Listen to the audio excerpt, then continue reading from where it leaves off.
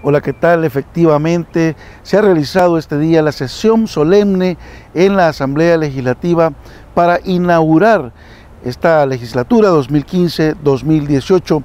Al acto asistieron personalidades y también funcionarios de los tres órganos del Estado.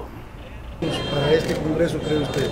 Mire, ahí el, el primer reto fundamental es cómo este país y este órgano sirve y contribuye al desarrollo del país.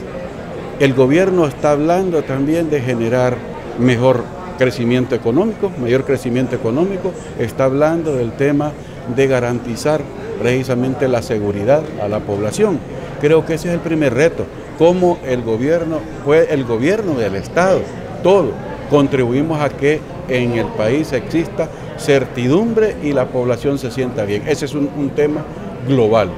Lo otro es, hay leyes, leyes importantes como el tema del agua, la ley de derechos y deberes de los pacientes, el incentivo a la agricultura, que son temas que han ido quedando rezagados en el debate y eso es lo que les decía hace poco.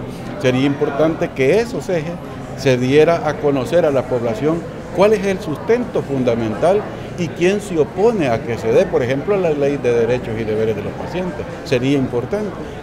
Los 84 diputados que inauguraron esta legislatura cumplirán su trabajo entre el año 2015 y el año 2018.